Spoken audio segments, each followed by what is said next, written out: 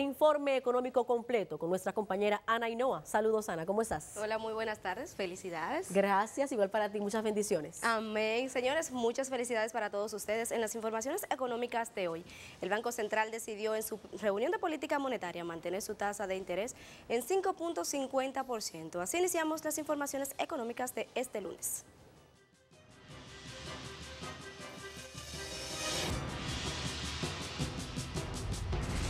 La decisión del Banco Central de mantener la tasa de referencia se produjo tras el análisis del panorama económico nacional, del entorno internacional relevante para la economía dominicana, como también las expectativas del mercado en torno a las principales variables macroeconómicas. La inflación subyacente interanual refleja las condiciones monetarias de la economía, en la que se ubicó en 1.79% para el cierre del año 2016, terminando por debajo del límite inferior de la meta establecida del 4.0%, más o menos un 1%. Y a pesar de los supuestos sobornos que el grupo Odebrecht había realizado a algunos países para conseguir contratos de obra, esto no ha afectado la ejecución del proyecto de las plantas a carbón de Punta Catalina, mostrando con esto un avance de un 95% de todos los equipos que se requieren para trabajar las generadoras, según lo dio a conocer la Corporación Dominicana de Empresas Eléctricas Estatales. El Ministerio de Energía y Minas informó en la edición número 37 del barómetro de la entidad que desde 2010 hasta junio de 2016 el mercado minero dominicano exportó 6.519 millones de dólares en mercancía, producto de la actividad extractiva entre 2010 y 2016, siendo el rubro de venta foránea encabezado por la transacción internacional del oro con un monto de 4.851 millones de dólares.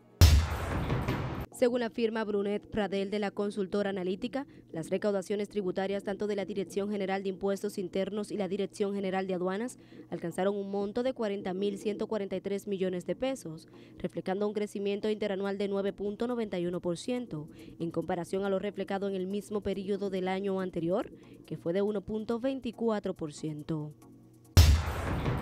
la Unión de Medianos y Pequeños Industriales de la Harina advirtió a las autoridades del Instituto Nacional de Bienestar Estudiantil sobre los atrasos de pagos con los suplidores del desayuno escolar y la tanda extendida, quienes desde el inicio del año escolar no han recibido pago alguno. Señalaron además que del pago del anticipo de 20% que es otorgado a los suplidores certificados como MIPIMES, solo ha sido entregado a un 35% de los empresarios. Asimismo, solicitan a, la mediación del mandatario Danilo Medina para que intervenga ante esta situación y con ello pues evitar que los estudiantes dejen de recibir la alimentación escolar.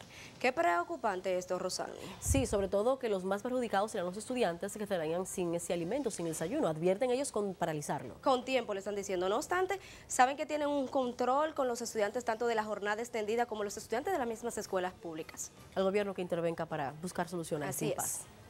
Vamos a una pausa comercial. Ya regresamos.